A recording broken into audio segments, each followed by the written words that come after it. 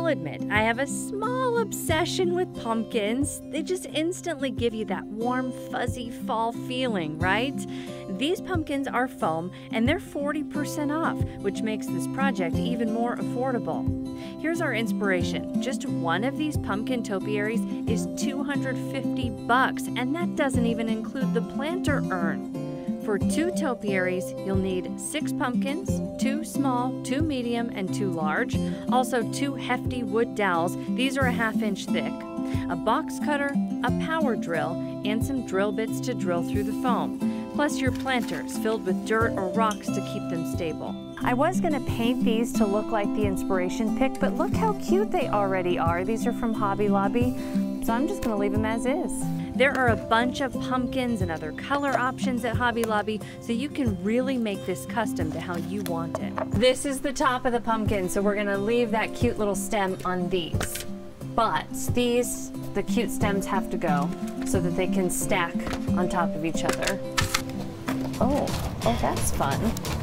That's easier than I expected it to be. Careful with the box cutter. You may want to wear gloves. This part of the project is not for the kids. Then just pull the stems out.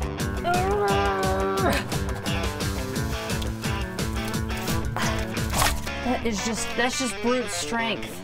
Some were harder than others. These already have a core drilled through the middle as well, so I just had to drill through the bottom to skewer them. So you want it to go all the way through so that it can stick into the planter.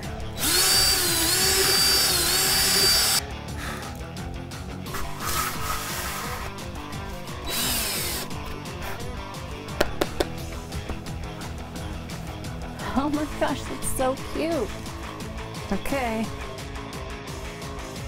Uh-oh, that one went through. Okay, we're gonna have to glue that back on. My wood dowels were just a smidge too long and it made the top stem come off, but I was easily able to just hot glue it back on after cutting down the dowel.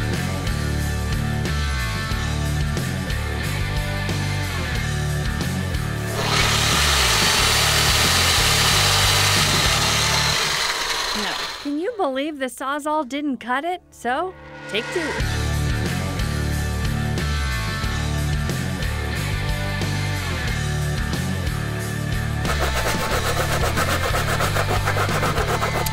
Gosh, that was so much easier.